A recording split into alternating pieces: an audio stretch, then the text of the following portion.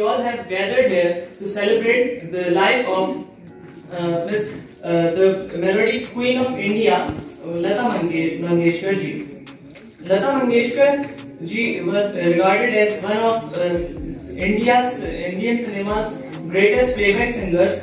She started her career at the age of 13 uh, in 1942.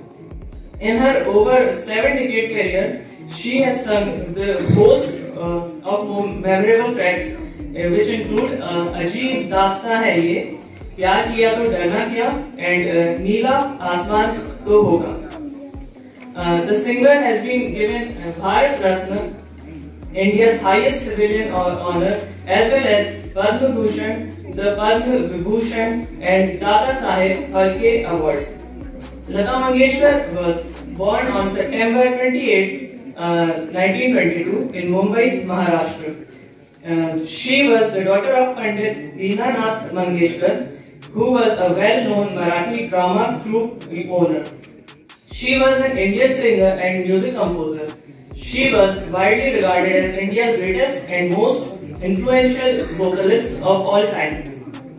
Through her contributions to the uh, Indian music industry over the course of seven decade career, she has earned honorific uh, names such as Nightingale of India, Queen of Melody. She was uh, the eldest of the four daughters and uh, one son. Her mother, Shevanti, hailed from Thanar, Maharashtra, and was uh, second wife of her father. Lata Mangeshkar debuted her uh, Hindi song Mata Ek Saput Ki Duniya Badal De Tu for the 1943 Marathi film uh, Bhav. Later in her career, she collaborated with some of the most prominent names in Hindi music, including Anil Biswas, Shankar Jaikishan, uh, Naushad Ali, and S.D. Burman. Lata, Lata Mangeshkar became, uh, came from a musical household in which uh, her grandfather, father, and mother all possessed musical abilities.